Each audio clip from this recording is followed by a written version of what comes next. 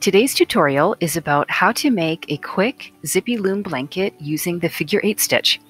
I knitted up the whole thing on a single Saturday, which shows you how fast this project goes. And if you're new to this Ms. Yarn channel, please subscribe and you'll get concise, easy to understand videos that have written instructions to help you along. Today we'll do the following steps. Number one, we'll start the project by casting on. Number two, we'll do the figure eight stitch. Number three, we'll add new colors since we're using gray, pink, and green. And number four, we'll bind off, which means we remove the blanket from the loom. As for the supplies, you'll need 10 zippy looms arranged in two rows, four to five balls of gray yarn, one ball of pink yarn, and one ball of green yarn. You'll also need a piece of scrap yarn for your anchor yarn. You'll need scissors, a hook, and a yarn needle. So let's get started. To begin casting on, you'll tie a knot to the side of your loom. Next, you'll wrap the top right peg clockwise and the bottom peg counterclockwise to make a figure eight. So keep making figure eights like this all the way to the left of your loom. This figure eight stitch, which I think is also called the twisted stockinette, is one of my favorite loom knitting stitches because it's fast, easy, and it creates a nice texture. So I've jumped ahead here to the very left of the loom. When you get to the very last pair of pegs, wrap the top peg, make a straight line with your yarn and wrap the bottom peg, and then re-wrap the top peg.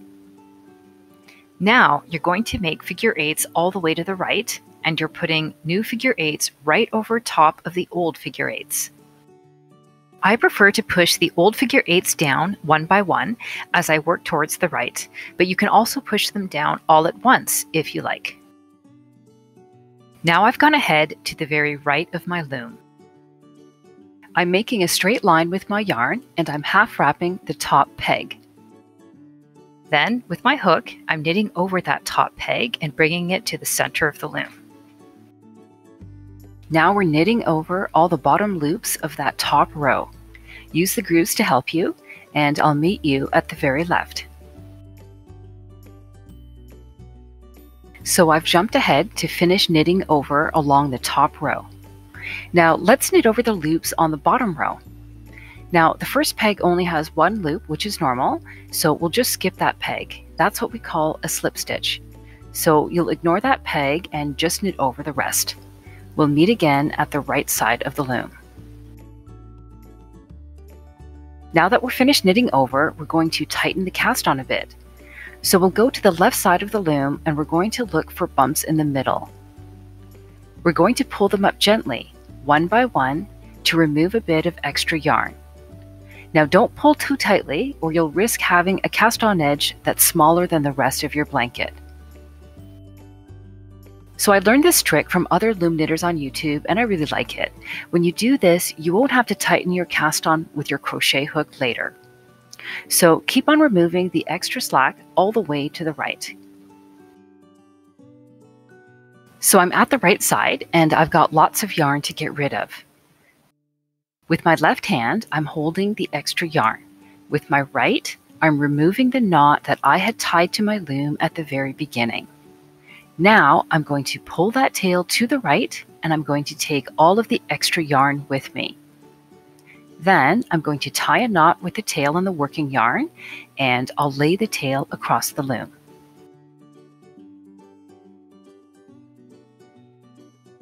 Next, I'll get my anchor yarn, which should ideally be two and a half times the length of the loom. I'll tuck the tails into the slot inside the loom and this anchor yarn should help me pull my project down as I make progress. So I'm tying a knot here. The yarn is a bit short, but I'm going to make it work. And now the cast on is completely done, which is great. So we're going to move on to doing three rows of figure eight stitches in gray.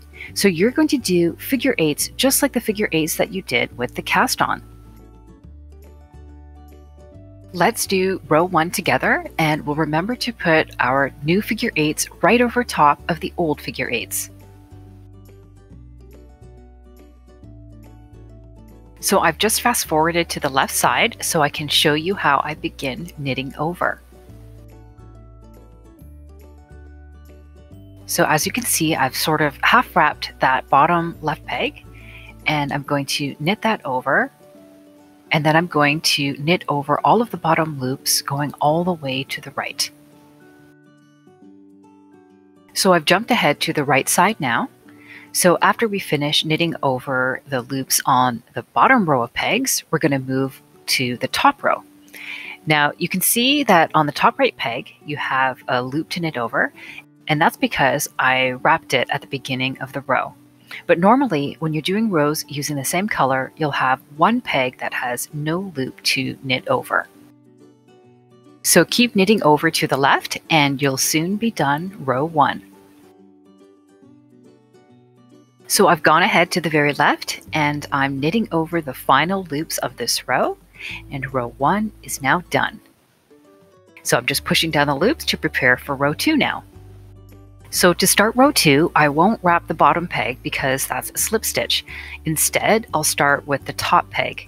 So there's going to be a slip stitch like the one on this bottom left peg every time we do a row that is the same color as the color before. So this is row two of the gray. And if you follow my pattern, you'll do row three in gray as well, and then you'll change to pink for row four. The pattern is in the description below. So knit on your own and we'll meet on row 4 to change to pink. So let's cut the gray yarn and we'll leave just 5 or 6 inches. Now you're going to use your fingers or a crochet hook um, to bring that tail under one of the stitches that's 2 or 3 stitches towards the center. Now you're going to tie a knot with that gray yarn and the pink yarn.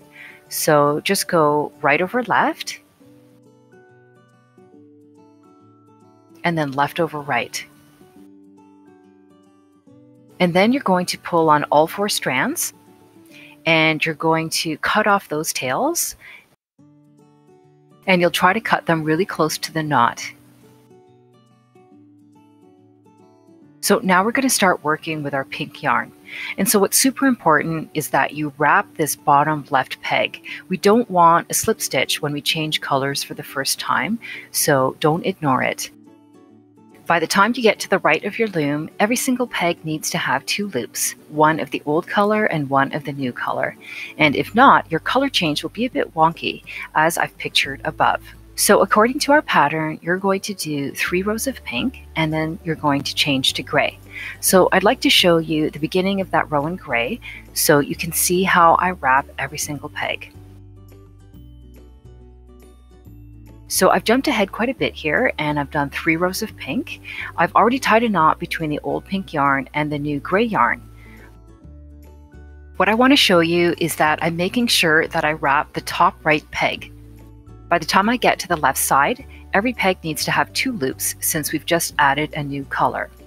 So let me show you the pattern on the screen, but be aware that there's also a pattern available in the description below. So you'll be finishing up this section in gray and then you're going to be doing a stripe in green. So again, the pattern is on screen and in the description below. So let's meet again when it's time to bind off, which means that it will be time to remove this small blanket from our knitting loom. So you've now done three pink stripes and two green stripes and all the gray sections in between, and you're ready to bind off, which is pretty great. So I'll bind off with my fingers, but you can use a crochet hook if you prefer. So remove the top end loop and then remove the bottom end loop. You put the top loop inside the bottom one and then you pull it upwards. Now take the next top loop, you're going to stick that inside and then pull upwards. And then you'll take the next bottom loop and then you'll put that inside and then you're going to pull upwards again. So the green on this blanket looks really blue in this section of the video, and that's because I pressed the wrong button on my GoPro before filming this section. It really is more of a green than a blue. So I just wanted to get that sorted. So I think you can keep binding off on your own. Just keep working towards the left, um, loop by loop, and in the process, you'll see that you're making a really lovely braid to go on this edge of your blanket. So I'm at the very left of the loom and I'm just working the final loops. When you're at one final loop, cut off the tail and put that tail through the final loop. Now we can get the loom out of the way. So I'm going to weave in that tail by working towards the right, and then I'm going to go back to the left for, for a few stitches and then back to the right so that it's making a zigzag. And then I'm going to go to the other end of my blanket, um, and that's the cast on edge. And I'm going to remove the anchor yarn now.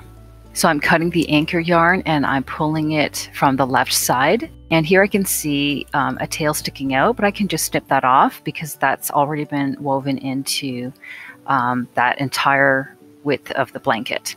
And now my blanket is done. So if you have found this loom knitting video helpful, I'd love it if you could like, comment, or subscribe. Thanks for watching and see you soon.